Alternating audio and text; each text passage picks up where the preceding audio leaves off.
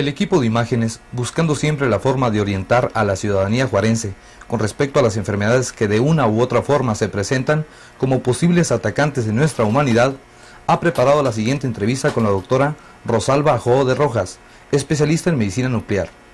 Nos expone y contesta lo que es esa terrible enfermedad llamada herpes. El herpes simple es una enfermedad infecciosa que es producida por un virus del grupo de los virus herpes eh, del tipo 1 o 2. Además, podemos decir que esta enfermedad tiene, es decir, el virus tiene una enfermedad hacia la piel y hacia los nervios del paciente. Vamos a puntualizar que el herpes simple es una enfermedad que se localiza en cualquier parte de nuestro cuerpo, pero que es el herpes simple. A diferencia del herpes zóster, que ese sí se localiza en trayectos muy específicos de zonas nerviosas. ¿En dónde más o menos podemos clasificar al zóster?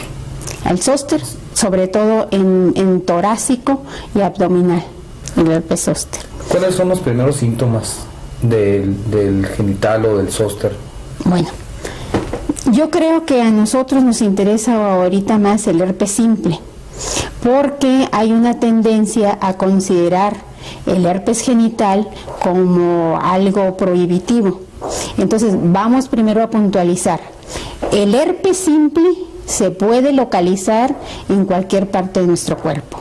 Así tenemos herpes labial, el herpes de la estomatitis, o sea, las lesiones ulcerosas que se presentan en niños muy pequeños, el herpes genital, propiamente dicho, del que usted quiere que hablemos, y eh, cualquier otra, otra localización de, de herpes en cualquier otra parte del cuerpo, pero es el mismo, herpes simple. Bien, al herpes se le considera hasta el momento una enfermedad incurable. El herpes se le considera hasta el momento una enfermedad incurable pero controlable. Es decir, todavía no encontramos un medicamento que ataque a los virus medicamento. Existen ciertas sustancias que inhiben la replicación del virus, que es lo que lo hace infeccioso entre ellos ciertos medicamentos o u otros productos inmunológicos como es el interferón, el factor de transferencia, etcétera. ¿Cómo se llama el virus, o si es que se le puede llamar así, que produce el herpes? ¿Y cómo es? No lo conocemos.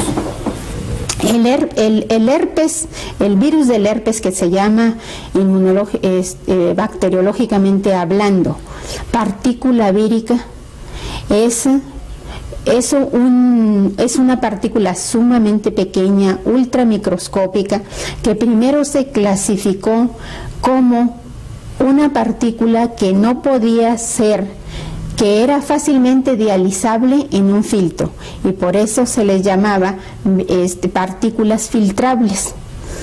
Primero se clasificó de acuerdo con el tamaño un virus. Ahora, con la ayuda del microscopio electrónico se ha podido distinguir la morfología y la estructura de un virus y se ha podido e, estudiar la conformación de este virus.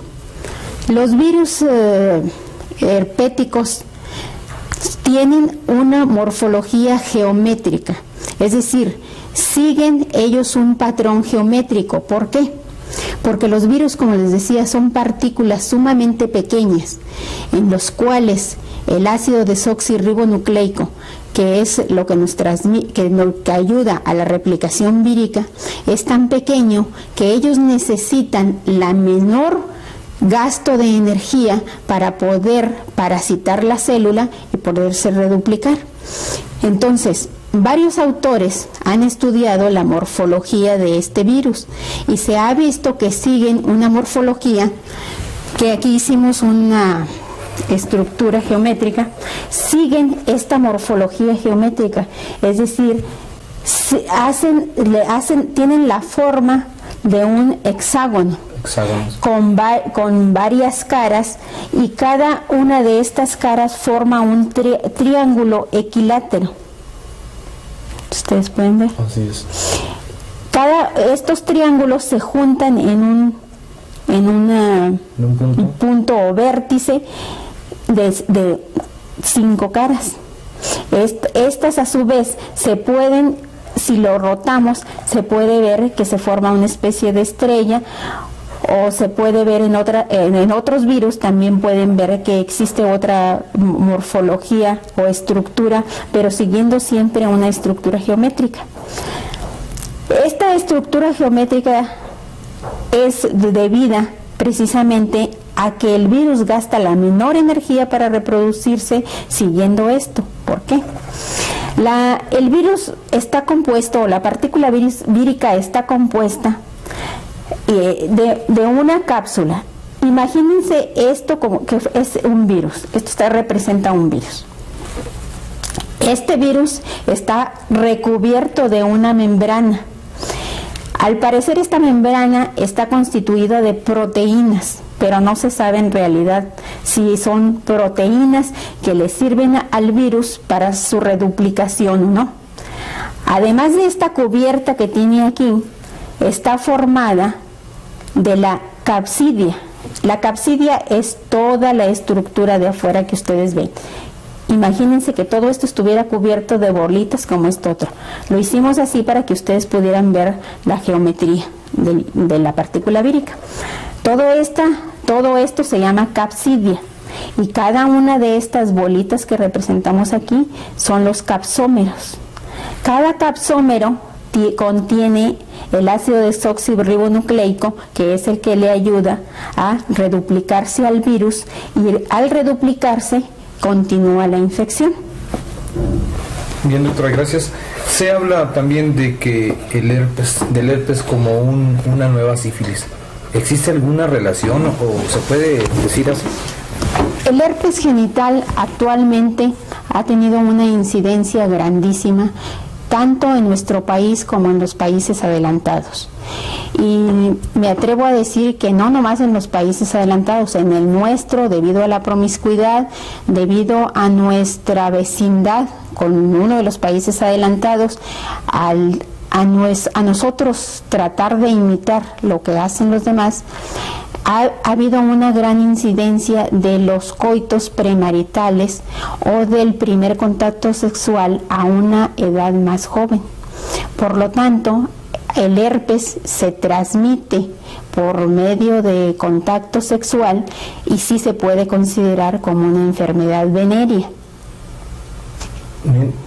A las mujeres embarazadas que tienen esta enfermedad, ¿cuál es el riesgo que llevan de, de contagiarse o, cuáles, cuáles son realmente los efectos? Se ha- eh, son varios. Primero, una enfermedad, se ha visto que una mu- mujer embarazada que contraiga el herpes tiene dos a tres veces más riesgo de abortar que una persona en control este, ginecológico prenatal normal. Segundo, tiene la desventaja de poder, de, de poder infectar a su bebé durante el parto. Esta infección vírica de los recién nacidos es sumamente grave. Su morbilidad es alta, es decir, por morbilidad entendemos la incidencia, es decir, la frecuencia con que un niño se puede infectar al nacer de una madre eh, con herpes genital. Entonces la morbilidad es muy alta. Segundo, la infección que se le da a un recién nacido es grave porque puede producir este, una enfermedad que con afinidad al sistema nervioso central casi siempre mortal. ¿Qué medidas preventivas eh, existen o, o se recomiendan para, para eh, no contraer el herpes? Bueno, medidas preventivas no, no están bien definidas. La- Las medidas preventivas son la limpieza, no tener muchos eh, socios sexuales, la diversidad de, socios sexuales aumenta la incidencia, usted sabe bien que existen los homosexuales mm, biduales, digamos, es decir, un hombre es homosexual y a la vez usa a su mujer entonces ahí hay más riesgo de, de poder co- se con- contagiar. Entonces yo le diría a usted, pues, tener cuidado de con quién se casa uno. Doctora, eh, el hecho de, de, que una persona infestada o que contraiga el herpes, eh, que toque a un niño, que, que se toque sus genitales y salude, etcétera, ¿también eso puede provocar un riesgo o solamente por contacto sexual? Bueno, esas son las medidas que se les dan a los pacientes que tienen herpes genital. Las eh, medidas higiénicas que se le se recomienda son lo siguiente. Primero, estar seguro de que tiene una enfermedad vírica, porque clínicamente se puede confundir con otra enfermedad. ¿Cómo se puede hacer esto? Mediante un cultivo haciendo un cultivo de sus lesiones y si se puede aislar el virus, estamos seguros de que es una enfermedad genital herpética. Segundo, si ya estamos seguros de que es una enfermedad herpética, entonces evitar el contacto sexual. Primero, si es el primer si es el primer episodio, es el primer ataque que ha sufrido, entonces evitar el contacto sexual por un término de 10 días después de que las lesiones hayan cicatrizado o hasta que el cultivo se haga negativo. Si es un episodio de recurrencia, se debe de esperar 7 días después de que las lesiones se hayan cicatrizado o hasta que el cultivo se haga negativo. Evitar cogerse, las eh, cogerse los genitales infectados con sus manos o si se hace, lavarse con agua y jabón pero varias veces o digamos muchas veces las manos con agua y jabón. Tercero, evitar coger a niños recién nacidos si uno, es decir, el paciente que tiene la infección vírica, herpética, eh, eh, ha cogido con sus manos sus genitales, evitarlo en todo momento. Siempre y cuando no se haya lavado las manos. Si una persona tiene un herpes y tiene todas las eh, condiciones higiénicas, se ha lavado esto, sí puede coger a un niño. Estamos hablando de casos extremos. Allí estamos hablando del herpes genital simple, del herpes simple, localizado en los genitales. Ahora, eh, localizado en cualquier otra parte del cuerpo, siendo simple, las medidas, ¿cuáles son las medidas? Bueno, por ejemplo, si usted lo tiene labial, evitar el beso, ¿verdad? Digamos, evitar este, tomar en, en, vasos o en tazas despostilladas y que luego no sean bien lavadas o esterilizadas. Eso sería lo único. Porque de lo demás, nada más se podría adquirir por contacto directo en caso de, estar ahí. En, en, las otras lesiones, digamos que tuviéramos una localización en tórax, pues evitar acostarse con otra persona porque si, si la paciente tiene predisposición puede contagiarse. ¿Nosotros tenemos predisposición al herpes? Hay una teoría sobre eso. Se dice que la infección herpética por el virus simple o, por, o también por el zóster eh, es que nosotros tuvimos una primoinfección herpética durante la niñez y que el virus está adormecido eh, viviendo en, las los ganglios o en las eh, estructuras nerviosas y que llegado el caso de que nuestras defensas baja, inmunológicas bajaran, entonces el herpes se reavivaría y daría la infección. Esa es una teoría que está bastante documentada científicamente. Eso se puede aplicar a lo que estamos comentando anteriormente sobre las calenturas que producen lo que es el llamado el fuego. El fuego. Eso, eh, nosotros vemos que los pacientes dicen, yo tuve calentura porque mire cómo tengo de fuegos. Entonces eso puede caber en la categoría de que el individuo tuvo una baja de defensas, probablemente tenía adormecido ahí su virus y le vino su herpes, o se, le bajaron sus defensas y se pudo contaminar de ese herpes del medio ambiente o de cualquier otra cosa porque acuérdese que la transmisión del herpes simple no nada más es por vía genital. Tenemos que la transmisión de un herpes simple es por vía, puede ser por contacto directo, puede ser por vía gastrointestinal, puede ser por vía aérea. O sea, no es simple y sencillamente por genitales. Bien, doctora, eh, ¿qué diferencia puede existir en un momento entre el zóster y el simple? Los dos son herpes víricos.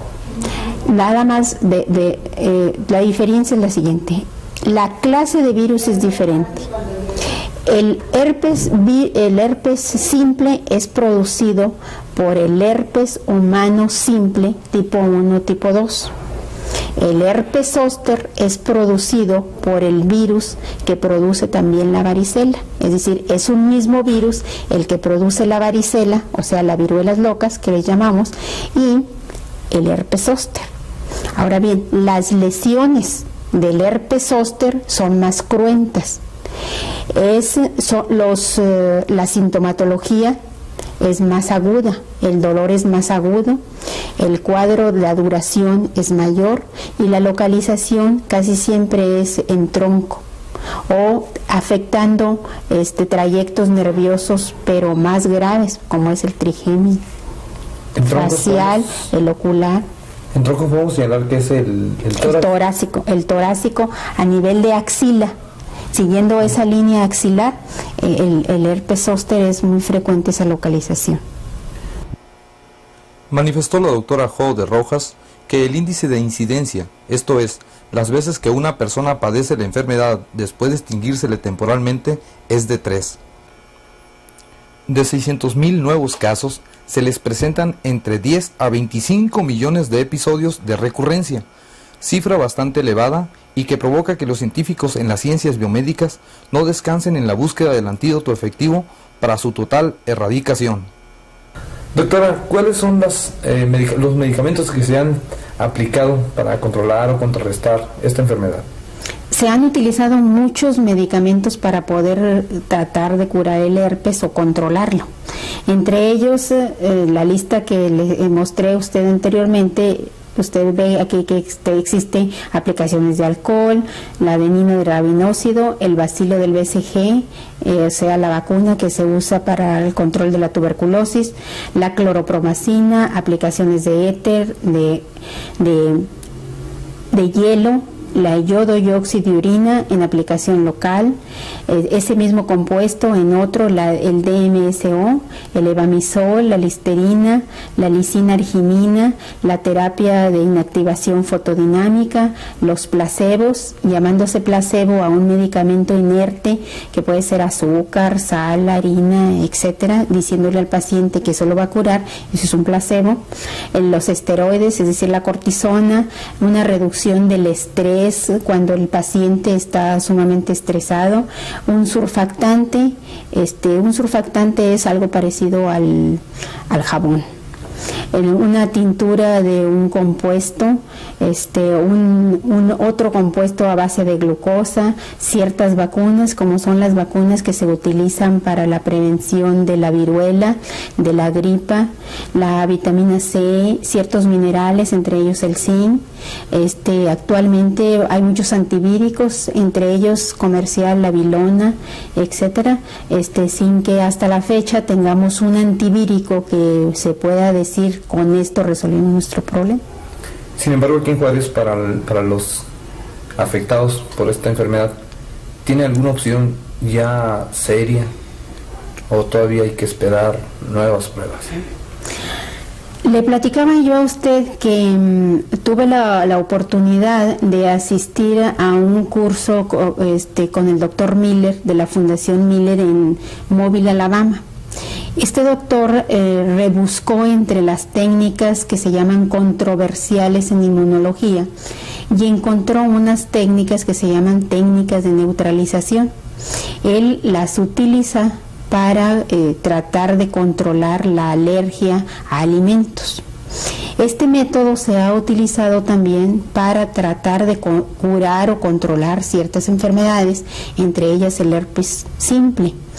Otra de las enfermedades que se utiliza, en el cual se utiliza este método, es para curar las candidiasis rebeldes, Candidiasis son las eh, hongos en la vagina de las mujeres. Este, las uh, pseudomona ureuginosa, que es un bacilo eh, que da unas infecciones a base de pústulas, mucha pus, es, esas infecciones que son sumamente rebeldes, que solamente son curables con antibióticos de, alto riesgo. Eh, se ha utilizado este método con muy buenos resultados y este doctor preconiza este método de neutralización para curar el herpes. Pues bien, yo lo he estado poniendo en práctica, este método, por espacio de dos a tres años, con una buena estadística de control. El herpes hasta la fecha no es curable, que yo sepa, es controlable. Se llama control o se entiende por control al hecho de que la duración del cuadro clínicamente sea menor al establecido en la literatura médica y que las recidivas, eh, se entiende por recidiva, los ataques siguientes, una vez que usted ya lo tuvo, sigue un periodo de calma y otra vez le vuelve la infección. Eso es recurrencia. Entonces el periodo entre una recurrencia y otra se alarga. Entonces eso se ha visto por medio de este método que tanto las molestias como la duración clínica de la enfermedad se acorta y que las recurrencias se alargan. ¿Es caro el tratamiento o es está cómo afecta realmente la economía del, que está del que está enfermo? Se, podríamos nosotros hablar de dos cosas. Los medicamentos en sí no son muy caros, pero el herpes es una enfermedad incapacitante porque, como mencionábamos, tiene una afinidad neurotropa, ataca nervios, por lo tanto es sumamente doloroso. Entonces es incapacitante. Si usted mm, incapacita a una persona X número de días, esto afecta tanto a la economía personal del paciente como a la economía del país. En ese si lo vemos desde ese punto de vista, es una enfermedad cara. Por lo que acabamos de escuchar de parte de la doctora Rosalba Jo de Rojas, el herpes no es una enfermedad vergonzosa, es dolorosa, es de respetarse por su tratamiento tan difícil. No respeta edad, sexo, profesión, religión ni estatus social.